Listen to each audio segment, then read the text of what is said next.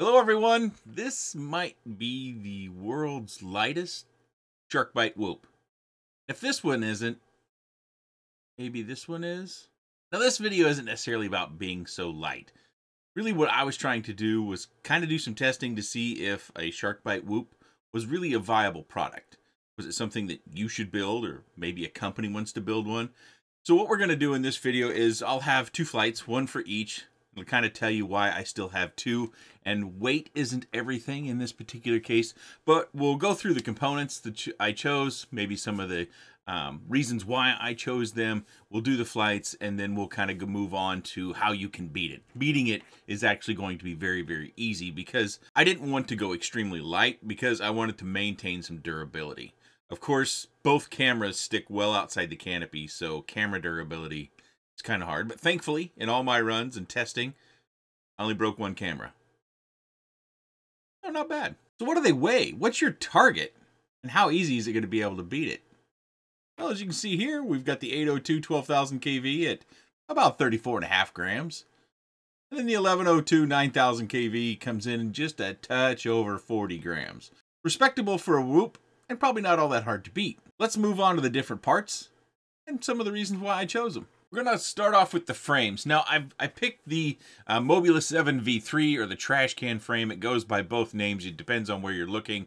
I picked that frame because it is the most durable whoop frame that I have experience with. Of course, this is a 75 millimeter format. You're running 40 millimeter props. And as you can see there, even between the two clear ones, there's a fair bit of a weight variance. And then we get to the black one. I only had one black one to weigh, uh, and it came out the heaviest. So uh, something to consider is that you might not get one that's 5.33 grams. You might get one that's 5.5 grams or you might get one that's 5.64 grams. Of course, there's a host of other frames on the market and you can try them all out and see which way you'd like to go. One thing that I did with the frame to try to reduce the weight, which turns out probably isn't worth it, was I cut out the little supports that are around the pod.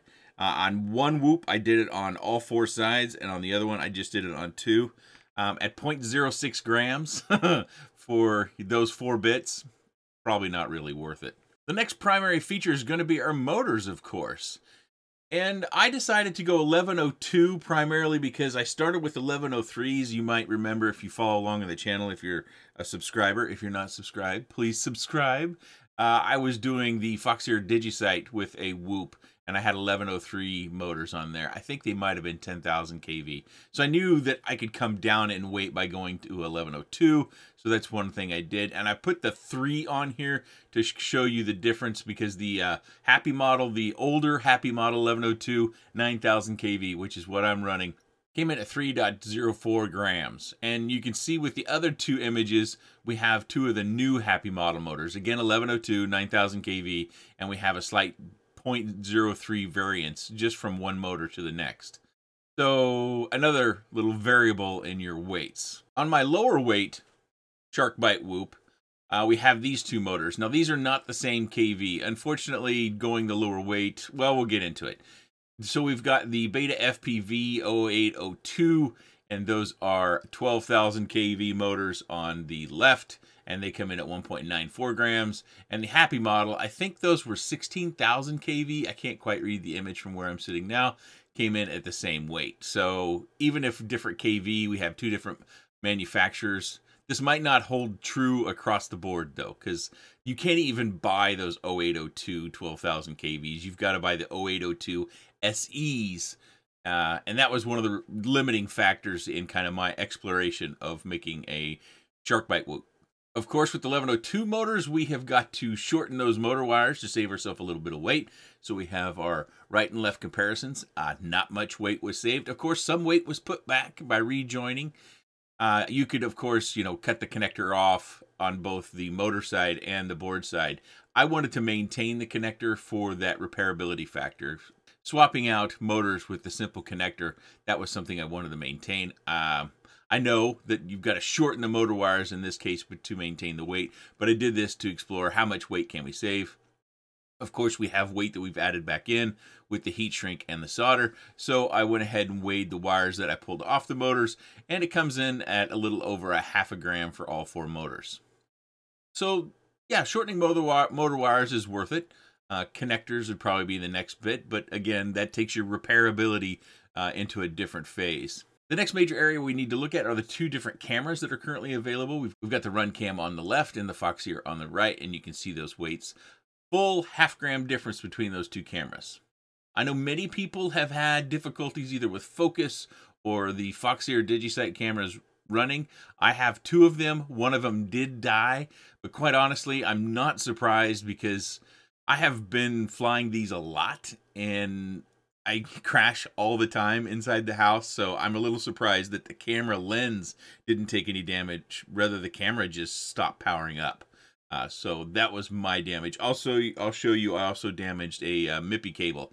Uh, one of the wires got pinched and that was severed. So if you want the lightest, you obviously want to go with Runcam right now. Props are another consideration. We have to look at our props and what they weigh. It's not the end all be all, but it is something that I wanted to look at.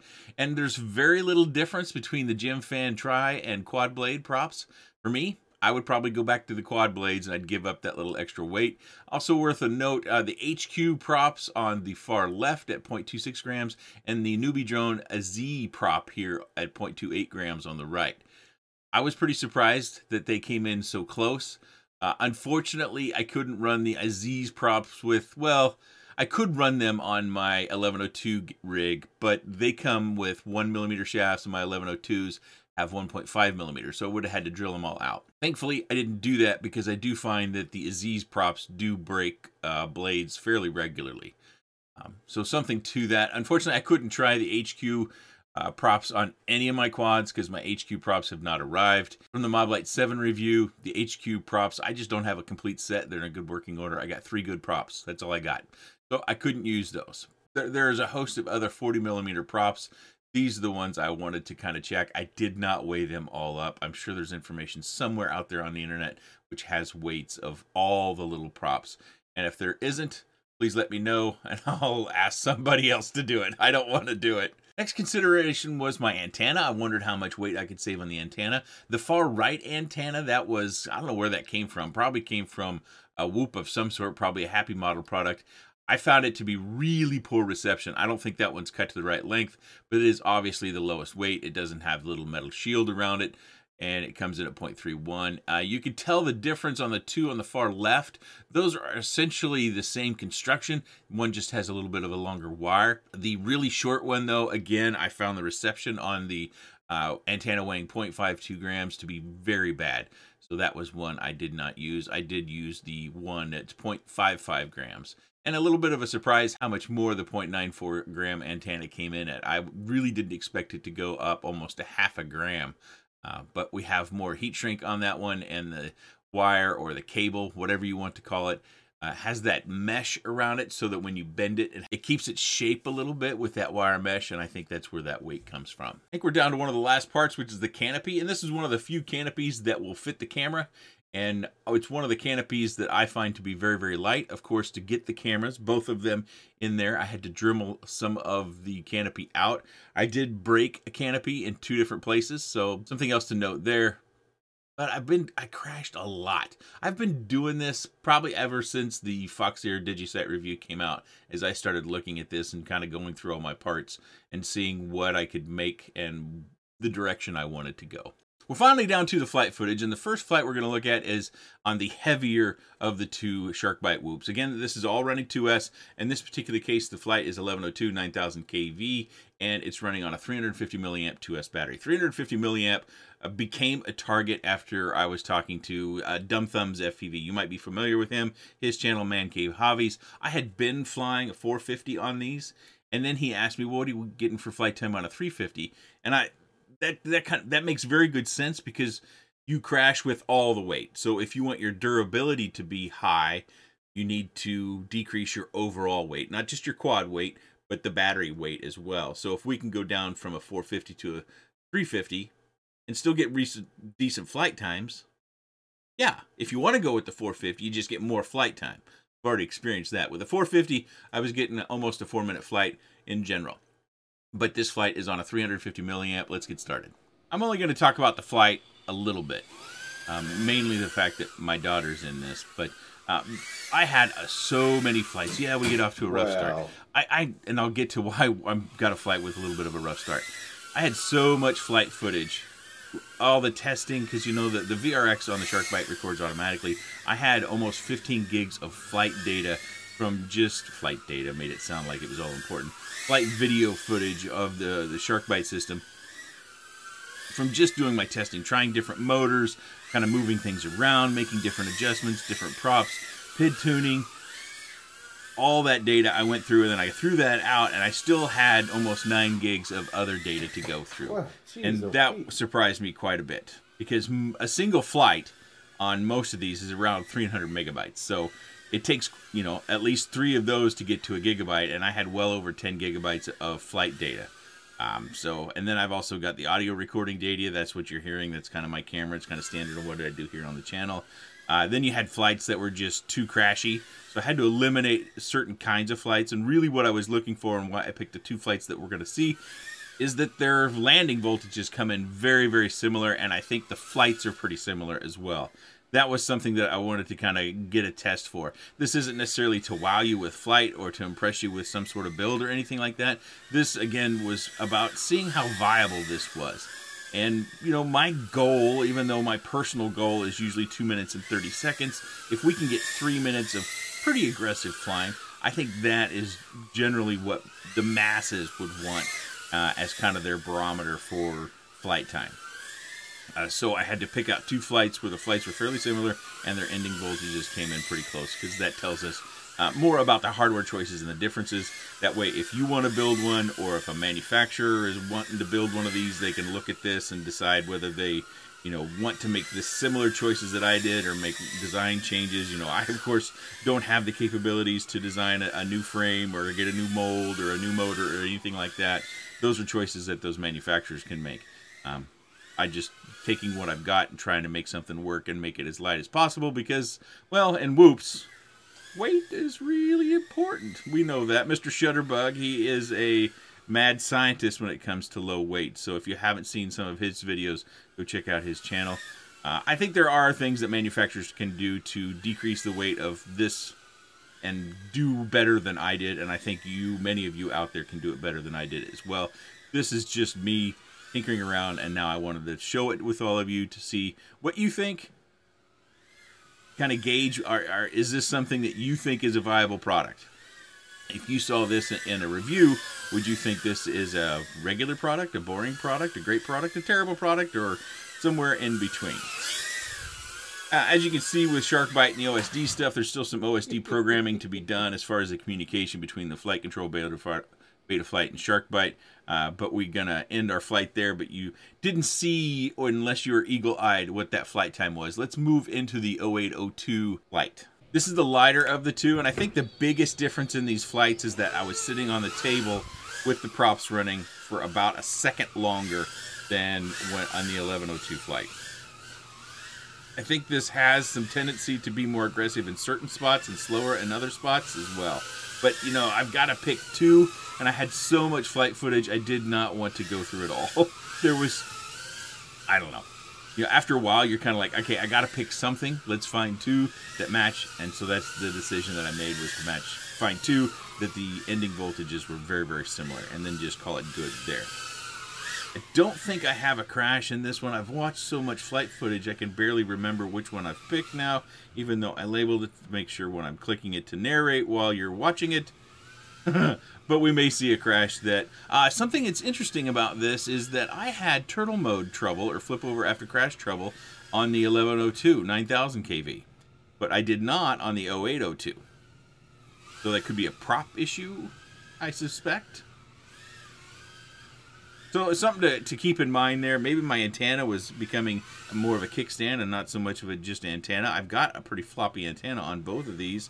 I did add some welder to the UFL and the board connector uh, just to make sure it stayed down. I've probably used these antennas on other VTXs, so I don't think the connectors were pristine. Uh, they do snap on cleanly. You see, I get clean video. But I wanted to make sure, especially with this 1102, I think it popped off a few times. So I added some welder. Uh, welder is very similar to, you know, some people will say use Shoe Goo or E6000 or I just use welder because by name it's easy to get. E6000, the E6000s that I've used, they're kind of different. Depends on who you buy it from or what it looks like. Sometimes it's real foamy, other times it's kind of gummy. And I think welder sticks better. So I stick with what works for me. You stick with what works for you. Okay, the flight has ended. You've got to see it all the way through to the end. So let's take a look at this image where I've captured the last frame of our flight. This is right before disarm because on disarm on SharkByte right now, it goes back to zero. So you can see with the 0802 12,000 kV, we get two minutes and one second. And with the 1102 9000 kV, you get two minutes and 57 seconds. So that's pretty substantial. And it kind of goes against a little bit of what we talk about a lot in whoops where lighter will get us longer flight time. Well, in this particular case, there is a KV difference. There's nothing I can do about that. Uh, there isn't an 0802 9000 kV on the market that I could find. There isn't an 0802 10,000 kV on the market that I could find. 0802 12,000 kV is the lowest I can find in the market, and mine are the original 0802 12,000 kVs. They're not the SE edition. These are ones I've had in my bin for a while, and I just got lucky. I believe the original Mobula 7 had 0802 12,000 kV, I think, because I have a set of those, but unfortunately they have the motor stem at uh, 0.8. So I don't have any, well, I don't have very many props and no really good props. Most of the props that are doing 0.8 are kind of the, the conical Eachine sort of props most of the uh, current iterate well the brushed props will fit. We just don't have as many of those uh, to try out. So uh, using the happy model 0802 12000 kv just wasn't an option because that uh, shaft size. Of course 1102 9000 kv with a 1.5 millimeter shaft it's relatively popular so there is a pretty good assortment of props that we could try out way more than i've shown you in this video. But you can see there we get almost a minute more flight time voltages that we have on screen, these are kind of where the batteries last recover to. They didn't move above this. And you can see, uh, again, 0802 is on top. We recovered a 3.68 volts per cell and the 1102 at 3.66. So very, very close in voltage and about a minute more flight time. And so fairly similar flights. So how do you beat it? Well, I think beating it is pretty easy, and most of you probably are can think about five or six different ways of beating the weight. But I don't know if that is important because I really felt like the 1102s flew a lot better. You know, you've got more weight in there, but it carries its weight a little bit better. You know, it's something if you've got the motors, you can try it out for yourself and you might find that you like 0802s. I wouldn't suggest doing 0803s. I, remember the trash can when it came out, the original trash can, it was all red? it had 0803 motors on it, and I really didn't like those motors. They have a huge lump of thrust, kind of right at the hover point of a good many quads. Um, I did have, by chance, I, on a flyer, I bought some uh, 09 series motors, and you can see here from the image, we have an 0904 and we have 0903 different KVs and their weights. I did not bother to even try them on because of their weights. They both come in heavier than my heaviest motor. So the efficiency would have to be through the roof, and I can't imagine it would have the efficiency because of the stator size. So I didn't try those. Those are the OAK motors. So my preference is to fly the 1102. I really think that, you know, I'll probably fly the 0802 because it's fun, but it's only, you know, two minute flights. And I'll probably just run it until, you know, I break it in some way. Maybe I just break the motors and then I can put more 1102s on there. Maybe a motor manufacturer will come out with 802s that are 9,000 kVs. I certainly would try 0802 motors if they were in the 9 to 10,000 kV. I think the motors handle these props just fine. They're very light props and they, they seem to cut through the air. They don't seem to bog down or slow down. But there is a difference when you feel the overall weight of the quad and how it responds on 0802 versus 1102. Um, my my feeling of all the flights was that I handled this one better and I could actually fly it more aggressively. That's what I would recommend if you want to start by, building a SharkByte Whoop is to go with 1102. Choose the KV of your choice and then make all sorts of better choices as far as keeping the weight down. I'm very uh, excited to see what you all come up with and it should be very easy to beat. If if either one of these are the lowest weight SharkByte whoops, it should be very easy to beat. And I'm excited to see them. So if you've got a build of your own, put it down in the comments section. If YouTube slurps your link off to your image or your rotor builds or whatever, just be patient. I'll go in there and I'll clear it out and make sure YouTube allows it. YouTube thinks all links are spam, probably because most of them are. But uh, put your builds down below. I'm very excited to see what you guys have done. I'm very excited to see what the future brings with SharkByte. I, I honestly, when I thought about this, I thought, is this something that DRL could branch into? An indoor drone racing, or is it just not is it not TV friendly still? I don't know. Because who would have thought drone racing would have been on TV a couple years ago? Video breakup, especially the huge environments they're in. But that was something that was in the back of my mind was, is it a viable product? Can a manufacturer build these and people want them? And can a manufacturer build these, keep the weight low so they perform well, and they're fairly durable? I think one of the big barriers is the camera and the canopy com combination because there's absolutely no camera protection on either one of these whatsoever. They've got that long old nose just poking right outside of that canopy. So we're going to definitely need a new canopy design. Uh, if you're looking for the canopy, it's oftentimes uh, as a Crux 3 replacement part or the AE65.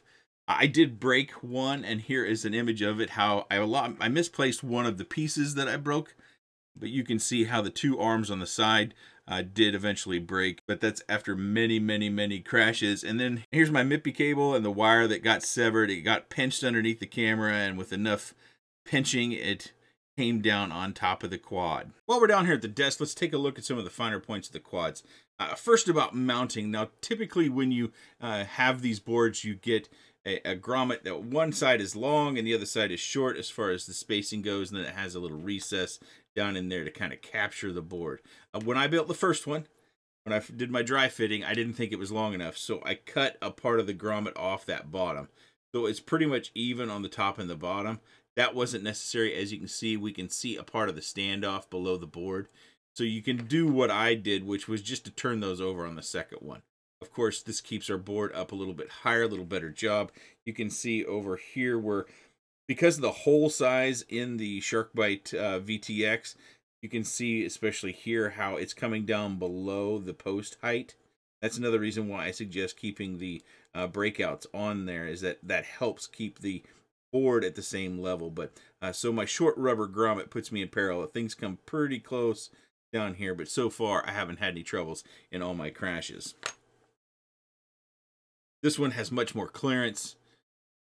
Uh, something else that I would suggest that you do when you're building is try to uh, figure out, well, not building. If someone's making a canopy, make a canopy that keeps this MIPI connector down as part of the canopy to hold that down because I do find that that pops up and it pops up ever so slightly and then your camera doesn't come on and you're like oh no I've killed the camera I couldn't tell you how many times I took these canopies apart only to find out that the MIPI cable that is access right here is available and I could just press it down and go again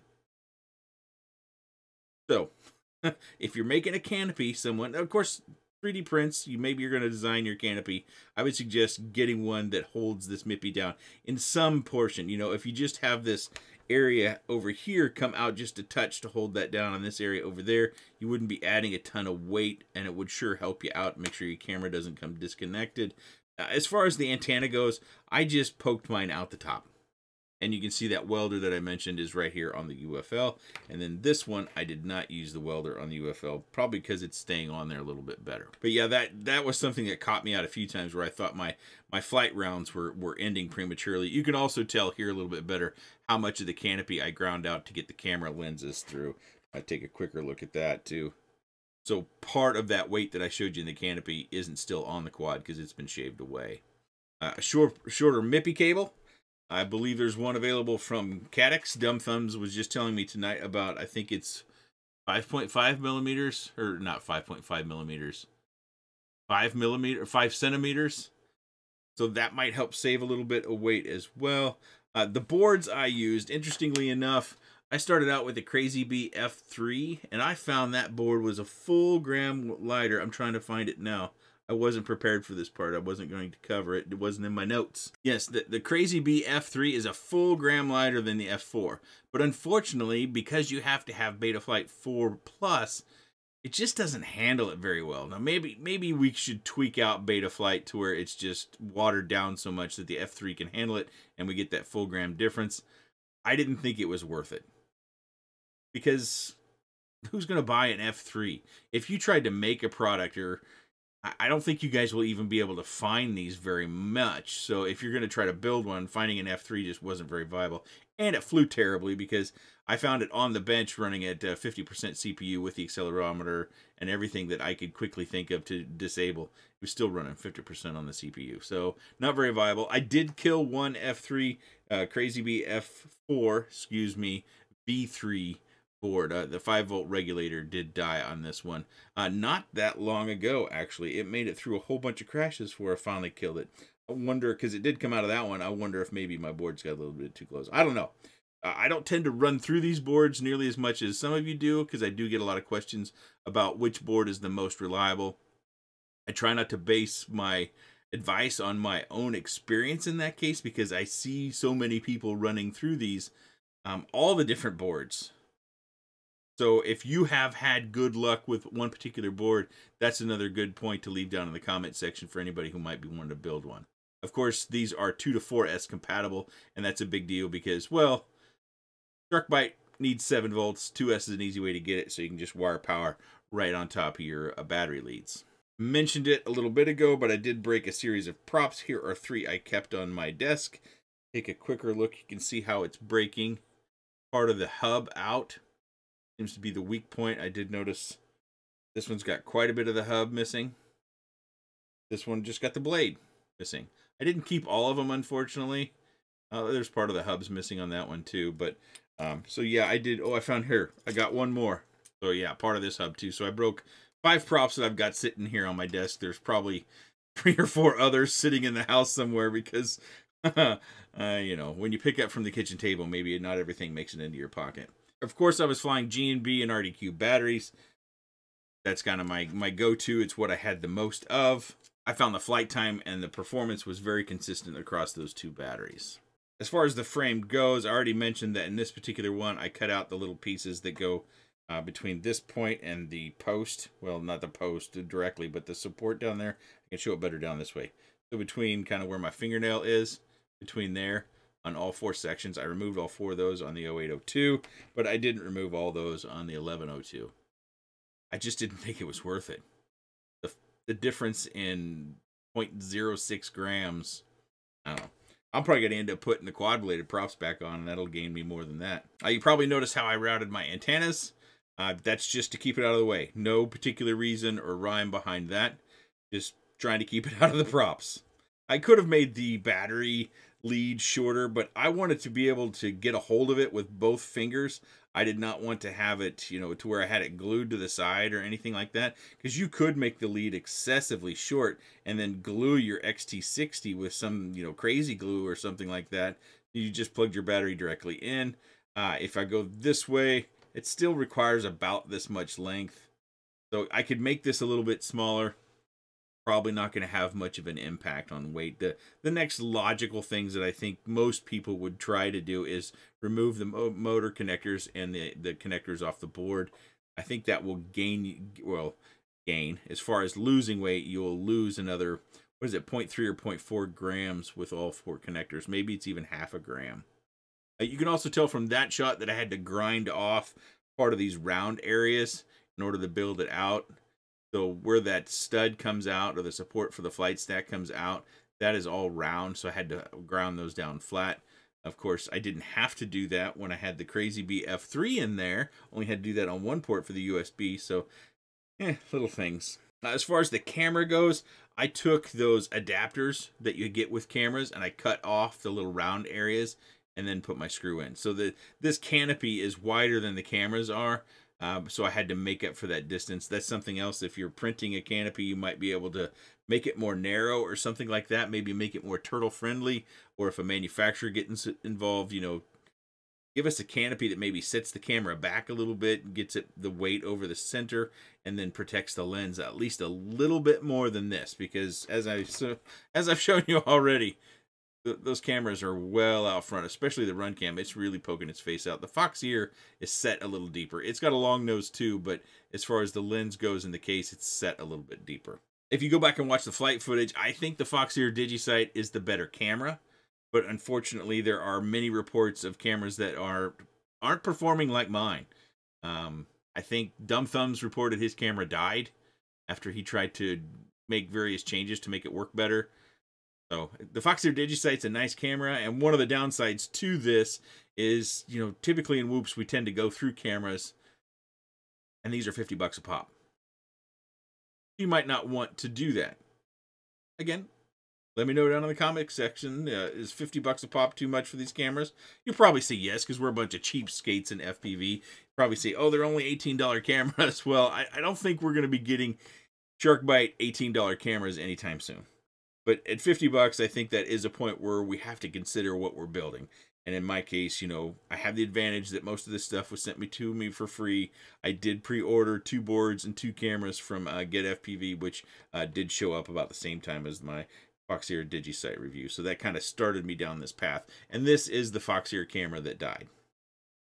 So I stole the MIPI cable off of that one. So hopefully that gives you a baseline some sort of grasp of what you may want to build. And speaking of build, I know that SharkByte is a little bit hard to come by, and the word on the street is that they're working very hard to try to produce as many units as they can. So if you're interested, it's very likely you're going to have to place some sort of pre-order somewhere or have some sort of alert for in stock for your favorite FPV shops in order to get one.